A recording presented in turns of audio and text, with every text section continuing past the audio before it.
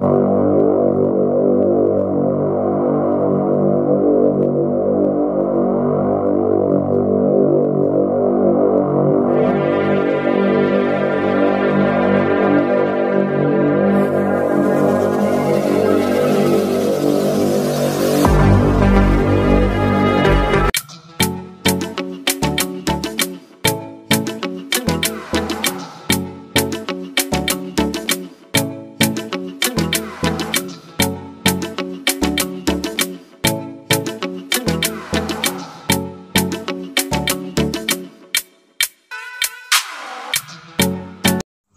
what's up guys? mga ka-hunter. Dito tayo ngayon sa gubat. Uh, maghahanap ng makakating manok. Yung mahuhuli. Dala natin si Bansot. Ayan si Bansot. Oh. Doon sa taas, nagtamban na ako. Nagtambang na ako kanina. May tumilawak doon kaso ayaw lumapit. Siguro mga sa isa't kalahating oras na ako nagpapa talaok sa bansot ayaw lumapit so subukan nating puntahan yung isang tumitilaok. Baka sakali yun eh lumapit at lumaban. So ganyan ang buhay ng pangangati ng labuyo. Mahirap tiyaga. Kailangan magtiyaga ka para may nilaga. So ang hirap. Hirap makahuli. Pagdalagay naman ng trap nila tinatamad ako maglagay ng trap kasi paggagawa lang ng isang piraso alas abutin ka ng kalahating oras. Lalo kung wala pang mahanap na gamit yung mga materials na gagamitin sa paggawa ng trap. Kaya kailangan bago ka gumawa ng trap eh, may mga materials ka na nagagamitin. O yun.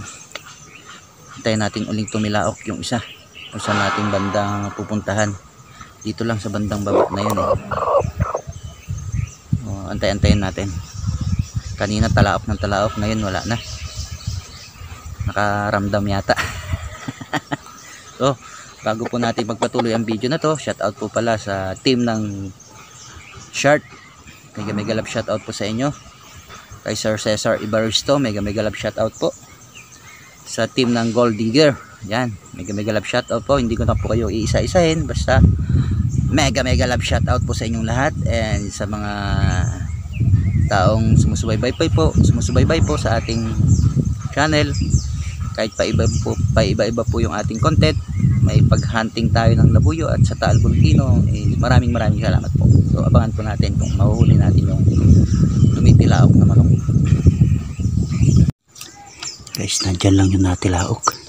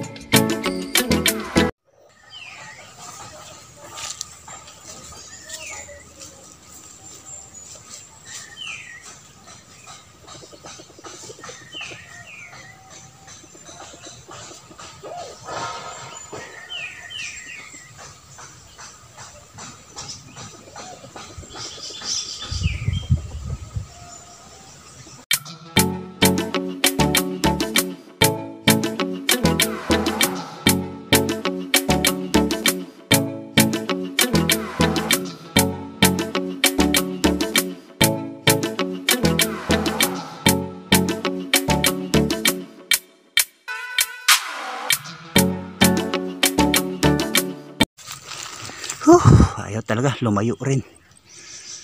Lumayo rin yung manok. Punta na doon sa taas doon.